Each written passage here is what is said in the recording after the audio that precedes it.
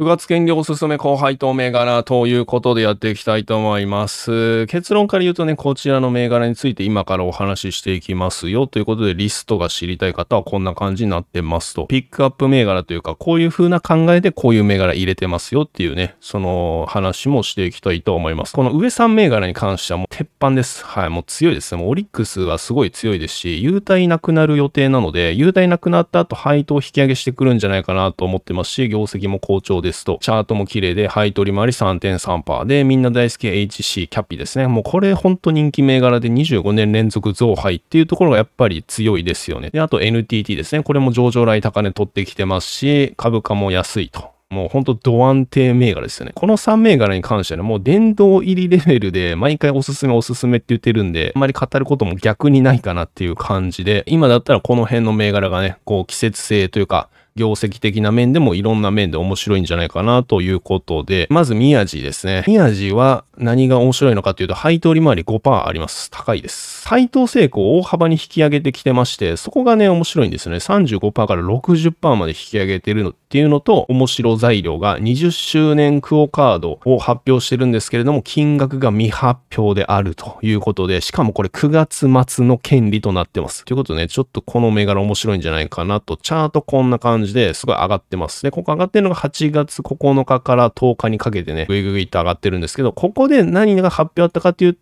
と先ほどのこの資本コストや株価を意識した経営の実現に向けた対応についてっていう、このニュースが出て株価すごい交換されて上がってるわけですね。これ何が言いたいかっていうと、うちの会社 PBR1 倍ずっと割れてるんだけど、おかしくねみたいな。あのうちの会社 PBR1 倍割れるような会社じゃないと。これっていうのは株主に対して説明がちょっとね、うちの会社も不足してたんじゃないかなっていうことで、PBR1 倍目指します。なので、こういうことをやりますっていう資料を出したら、もう PBR1 倍超えちゃってるんで、ものすごい効果あった資料ですね。で、まあ、いろいろやるんですが、株分割したりもしますし、IR 活動積極的にやったりしますし、自社株買い検討したりしますし、っていうね、いろんな発表をしてるんですけれども、やっぱり一番でかいところで配当成功の引き上げっていうところですよね。ここなんですけれども、配当成功60%を目安として、業績に応じた機動的な株主還元を実施し、自己資本の水準を適切にコントロールしてまいります。当社創立20周年記念クオカードの申請、2023年9月月30日の株主名簿に名前がある人に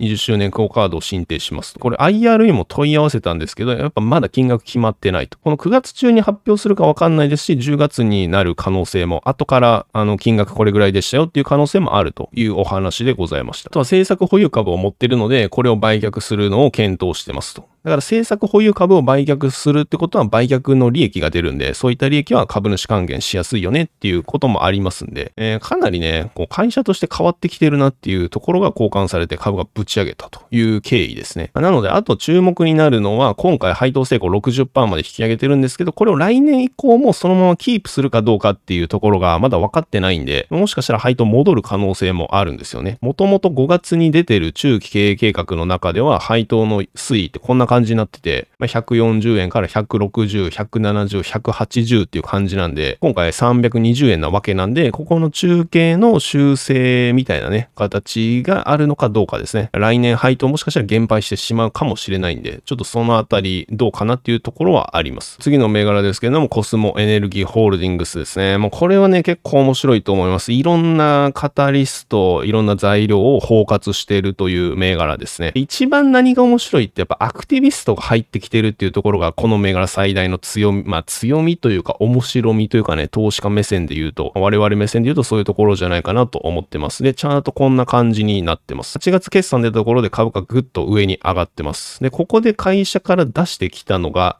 これなんですけど、配当の加減を引き上げますっていうことですよね。これやっぱね、結構交換されると思います。先ほども言ったんですけど、その配当をやっぱ引き下げる可能性って全然あるんですよね。今回250円出すけど、来年150円に戻ってしまうっていう、そういう会社もね、中にはたまにあるんですよね。今回業績いいからめちゃめちゃ出します。でも来年は元に戻るんで、来年はじゃあ減らしますみたいなね。配当の加減を引き上げるっていうことでね、250円はもう下回らないっていうところが非常に素晴らしいなと思います。配当利回りが4.5%で PBR まだ若干ね1倍割れてはいるというそんな水準になってまして、業績めちゃめちゃいいんかっていうとそんな感じでもないんですよね。実績1区もね90%減とかなってて、見通しも24%減のね営業利益とか、で純利益に関しても20%減とかなってはいるんですけれども、最近ねこの油絡みでいろんなニュース出てきてまして、サウジが自主減産を延長するぞと。これ9月6日に出てるんで、ほんと最近出たニュースなんですけど、サウジの自主減産っていうのを12月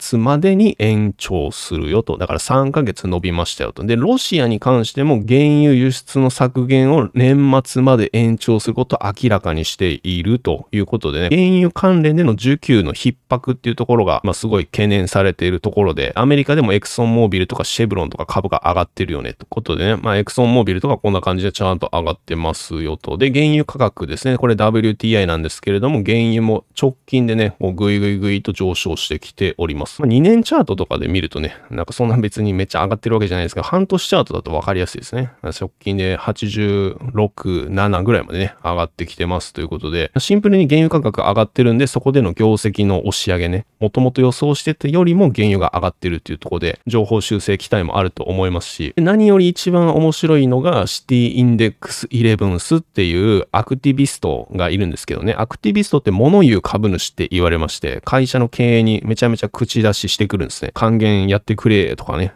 要は株価上げようとしてくるんですよね。そのシティインデックスイレブンスが株20%持ってるんですよね。かなりの量持ってまして、このコスモの。今すごいもういろいろ言ってます。コスモに対して、社長意識低すぎるとか、もうなんか、そんなことまで言うんやぐらいの勢いで、ものすごいいろんなこと言われてるらしくて。まあ、ということで、ちょっとこのコスモ VS シティインデックスイレブンス、このもうアクティビストみたいな構図に今なってまして、配当の加減引き上げたのもこのシティインデックスイレブンスが入ってきてるからじゃないかなとか思ったりね、するんですけど、いろいろ言われてるので、もしかしたらすごい還元してくるかもしんないぞとかね、そういう期待値がずっとあり続ける間は面白いんじゃないかなと思ってますね。同様の理由からエネオスですね。エネオスもその原油絡みで面白いんじゃないかと。で、新中継ね、新しく中期経営計画出してるんですけど、そこでも還元余地高めるよとか、低 PBR 対策していくよとかね、いろんなこと書いてまして、結構やる気ある感じですよね。あの、もうとにかく還元しますよと。あの、自社株買いとかね、やってきますよ、みたいな資料だったので、マクロの環境的にもね、今、原油追い風ですし、面白いんじゃないかなと思っております。株価も安いですしね、エネオス5万とか6万で買えるんで、ちょっとなんか枠空いてるなっていうところに、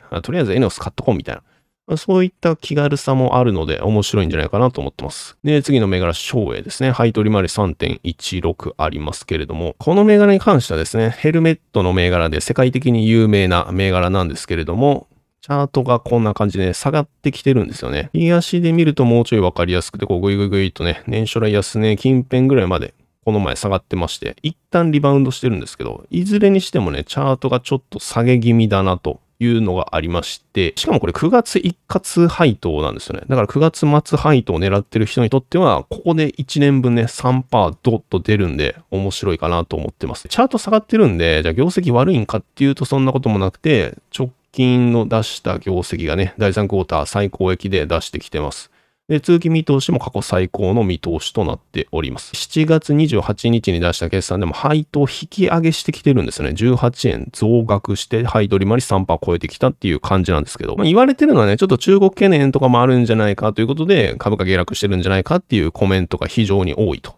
いうところで、一応ね、懸念としては中国リスクはあるかなと思いますね。次の銘柄ですけれども、ホンダですね。配当利回り3%ちょっとですと。これはね、結構面白いですよね。進捗がかなり好調でして、直近出した第1クォーター、かなりいい数字出してまして、営業利益4000億近く出してますね。これは過去最高の営業利益となります。なんですけれども、通期見通しが1兆円の営業利益なんですよね。1兆の見通しで4000億すでにもう出てる。だから進捗4割ぐらい営業利益ベースで出てきてるということを考えると、情報修正ってやっぱりね、期待できますよね。ホンダの機関投資家アナリスト向け説明会の質疑応答の中で、かなりいい数字でしたよね。第1クォーターの営業利益すごいいいんだけども、なんで情報修正してないんですかっていうね、背景を教えてくださいっていう、あの、みんなが知りたい。あ、もうそれそれみたいな。全員知りたかったんだよ、それがっていう質問が来てまして。で、それに対する回答とかもしっかりあるんで、こう面白いんでね、あの、画面一時停止して読んでいただければと思うんですけど、ポイントだけかいつまんで言うと、通期の見通しを変えなかったことに関しては、中国の話、ベトナムの話があると。ちょっとね、中国の車があんま売れてないんですよね。あとで、ベトナムでバイクがね、あんま売れてないんですよね。在庫の調整が急速に入ってるっていう背景があって、で、ベトナムってすごいバイク売れてるんですけどね、バイク売れてるベトナムで、いまいち在庫がね、こうダブついちゃってるっていう、その中国とかベトナムの懸念があるところと、為替以外の実質のところでもともと掲げた1兆円がしっかりと守れるように、機種のターゲットを今3ヶ月の段階で変えるという段階ではないと判断。インフンだり、まあ、ちょっとね、えー、ラッパーっぽい感じの文言になってますけれども、あの、まあ、今まだ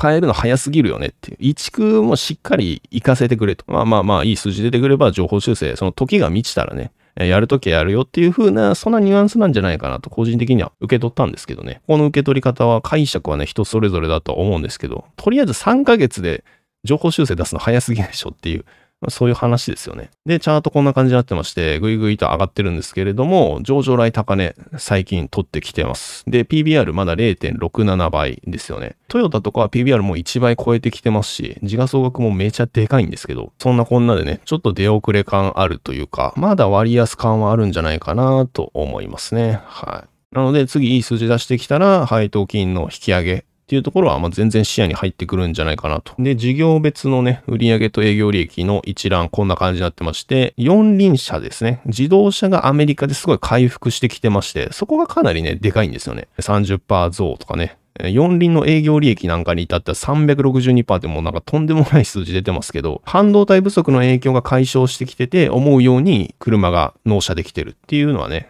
あの書かれてましたね。だからそういった半導体不足っていうところが徐々に解消されてるとかね。で、二輪車も基本的には好調ですね。二輪も四輪もね、面白いんじゃないかなと思っております。最後、チャレンジ枠というかね、下落したら面白いんじゃないかなっていうのが、日本取引所グループですね。これ配当利回り2%なんで、高配当じゃないんで、下げたら面白いという枠でね、ウォッチリスト行きっていう感じなんですけど、この銘柄ね、3月末にクオカードの優待もあります。で、この優待もですね、保有期間が長ければ長くなるほど、優待の金額がアップしていくと。クオカード4000円まで最高もらえちゃいますよと。結構ね、この長期投資家心くすぐる優待になってるっていうのも面白いですし、ね、手数料無料化になりますよね。楽天と SBI が10月から。で、そこってかなり追い風になるっぽくて、日本取引所グループの IR に問い合わせたんですけど、手数料無料化ってやっぱりあの追い風ですと。売買が活況になれば活況になるほど JPX、この日本取引所グループに手数料を払わないといけないんで、売買が活況になれば手数料が増えるよね。この会社配当成功60%程度っていうのを掲げているので、業績が増えて EPS が上がれば、それに連動して配当も増えます。はい、もうこれは60%で書いてるんで、この資料ね、見てても面白いんですけど、株の売買状況ね、書いてまして、売買代金の動向が出てるんですけど、最近ね、売買代金活況なんですよね。去年の4月、5月、6月に比べて、今回の4月、5月、6月の方が売買活況ですし、9月、10月、11月とかってね、売買多いんですよね。